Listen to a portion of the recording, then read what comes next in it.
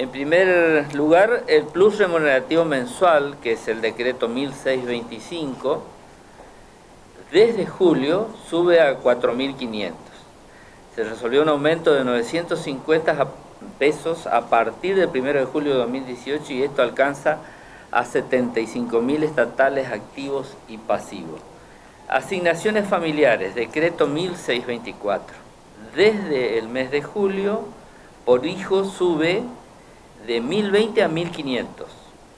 Por hijo discapacitado de 1700 a 2500 y representa un incremento en el orden del 47% este incremento de la asignación y alcanza a 40.000 agentes públicos.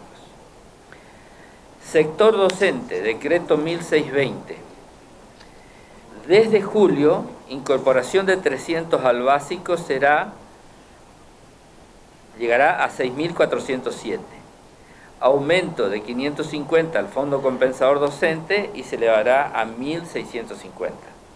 Desde octubre esta medida ya estaba previsto y anunciado, o sea que esto no modifica lo acordado para octubre, incorporación de 300 al básico y subirá a 6.707 y aumento de 350 al fondo compensador docente que se incrementa a 2.000. Esto será en octubre.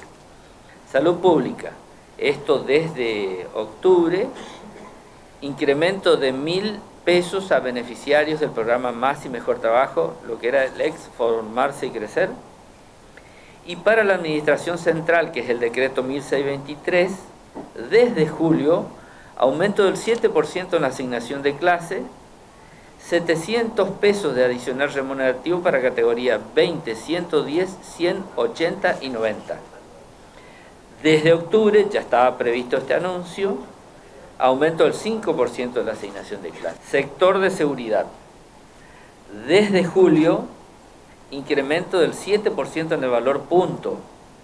Incorporación de 9,12 puntos al presentismo, incorporación de 9,12 puntos al concepto de responsabilidad funcional, aumento de 312,97 pesos al salario mínimo garantizado, y desde octubre, que ya estaba previsto, lo anunciado, recalcamos esto, porque eso no, cambia, no se trae para acá, sino que está en octubre, incremento del 5% en el valor punto, incorporación de 9,12 puntos al presentismo, incorporación de 9,12 puntos al concepto de responsabilidad funcional, aumento de 292,50 al salario mínimo garantizado.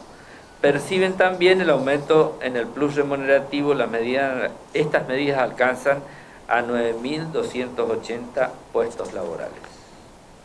Vialidad. En julio, incorporación de 100 pesos al básico. Reciben también el plus remunerativo y la medida alcanza 400 puestos laborales. La inversión total anual en salarios es de 26.520 millones de pesos.